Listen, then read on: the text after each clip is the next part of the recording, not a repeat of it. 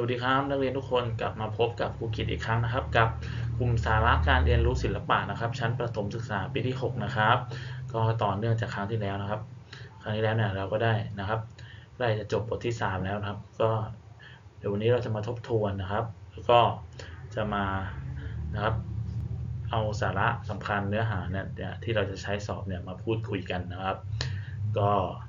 ถ้าพร้อมแล้วนะครับ ไปเชิญรับชมรับฟังกันเลยครับ ก็ทบทวนจากครั้งที่แล้วนะครับอ่าเดี๋ยวเราไปดูกันนะ ครั้งที่แล้วนี่เราได้เป็นไงครับร่างปากกานะครับ การเป็นการร่างภาพวาดภาพด้วยปากกาอ่าเดี๋ยวไปดูกันนะครับ นี่นะอันนี้เป็นตัวอย่างจากครั้งที่แล้วที่คุยเอามาให้พวกเราได้ดูกันนะครับ การใช้ปากกาลงน้ำหนักแสงเงาเห็นไหมครับอ่าเหมือนดินสอนะครับ แต่ปากกาเนี่ยจะมีเส้นที่ฉกคมนะครับ และ เส้นที่คมชัดกว่านะครับเห็นไหมครับ สีขาวคือแสงสีดำคือเงาเห็นไหมครับ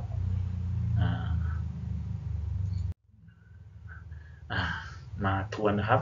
การใช้ปากกาสีดำนะ การลงแสงเงาด้วยปากกาสีดำเพียงสีเดียวเนี่ยสามารถ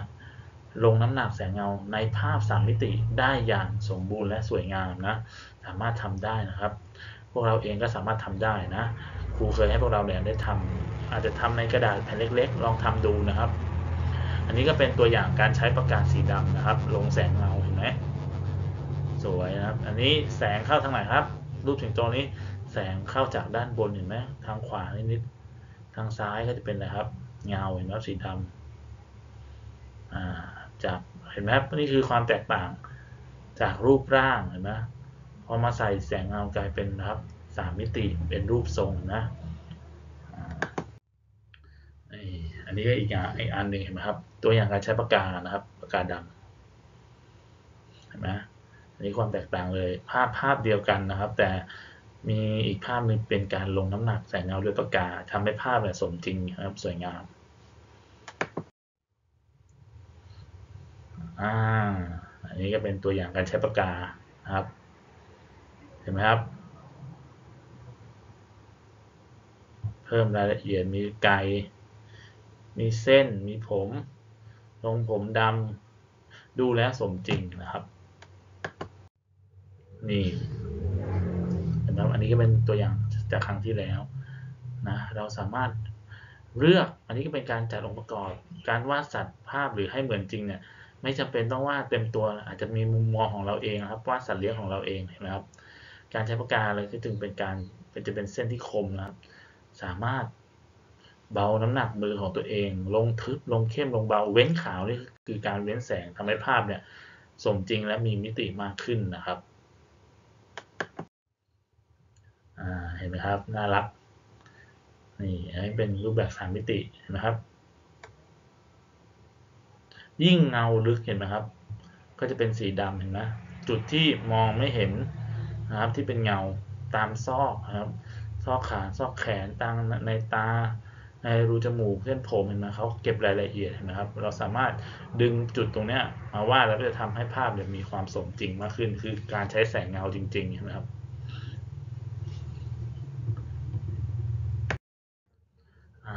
ยังอยู่ในบทที่สามนะครับสองมิติสู่สามมิติ เดี๋ยวเรามาดูกันว่าวันนี้จะมีเรื่องอะไรที่น่าสนใจให้พวกเราได้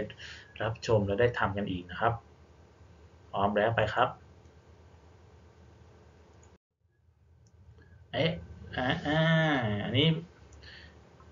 ผู้กิจเอารูปอะไรมาให้ดูพวกเราเห็นเห็นอะไรปะครับทำไมเห็นไหมครับ รูปทรงมี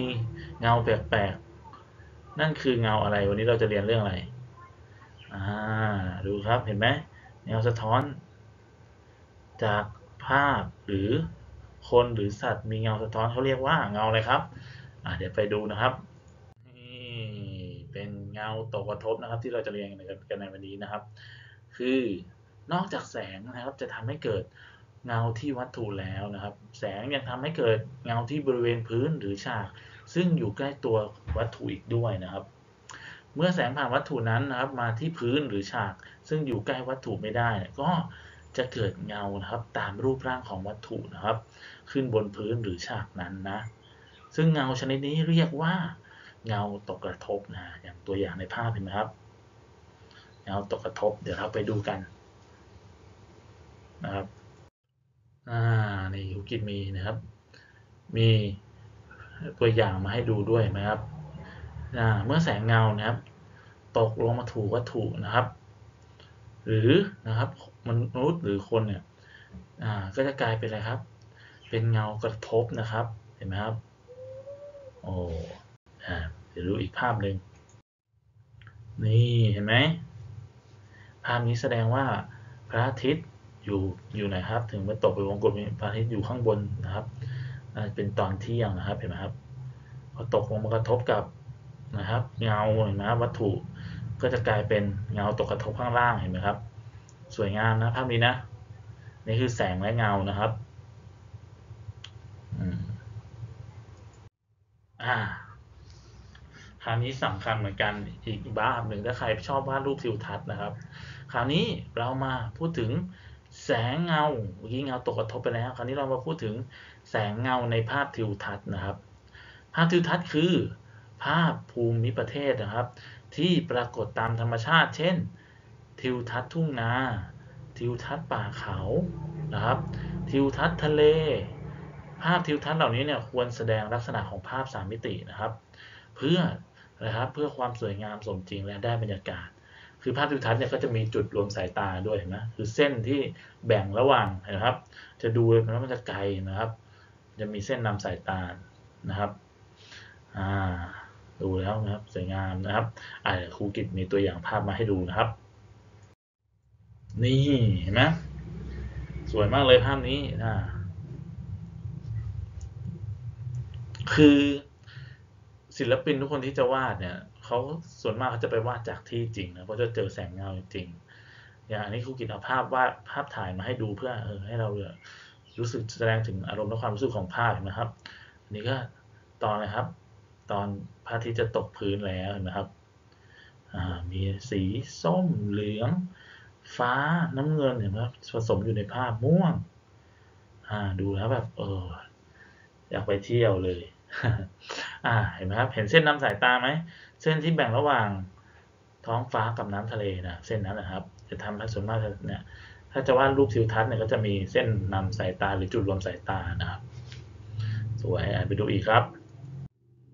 นี่อันนี้ก็เป็นภาพแนวตั้งในเวลากลางคืนเห็นไหมครับ ดูเส้นนำสายตาอยู่ข้างล่างเห็นไหมอันนี้ก็คือแสงเงาครับเงาภาพทิวทัศน์ในเวลากลางคืน เราสามารถเลือกสี ให้สื่ออารมณ์และความรู้สึกได้เห็นไหมครับ สวยงามเห็นไหมครับเห็นไหมครับ นี่แสงที่สาดส่องลงมาจากเห็นไหมครับ ผ่านร่องกิ่งไม้ก็ทำดูแล้วเป็นเส้นนำเห็นไหมเส้นแสงเส้นนำช่องแสงเห็นไหมครับ ถูกกระทบกับต้นไม้สวยงามเห็นไหมครับอ่านนี้ก็เป็นภาพ ทิวทัศน์นะครับ สวยงาม เห็นไหมครับอันนี้ก็เป็นตอนเย็นนะครับ คือครูกิจอยากให้เราเนี่ยก่อนวาดหรือก่อนทำอยากให้ดูแล้วให้รู้สึกไปนะรู้ว่าเฮ้ยภาพนี้มันเป็นตอนกลางวันตอนกลางคืนให้ใช้สีนะครับ มีสีโทนร้อน สีโทนเย็น สีคู่ตรงข้ามนะครับ เข้ามาแทรกในภาพนะครับคราวนี้ มาถึงคำถามนะคุณมีคำถามมาถามพวกเรา ภาพใดนะครับ เป็นภาพสามมิติ